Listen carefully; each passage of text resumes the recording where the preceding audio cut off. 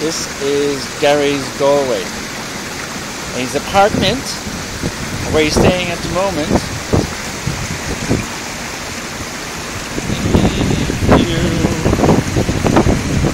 This is kind of like outside the apartment where he's staying.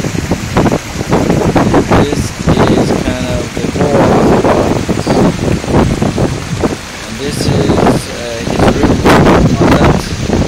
top one. And then over here we've got river again.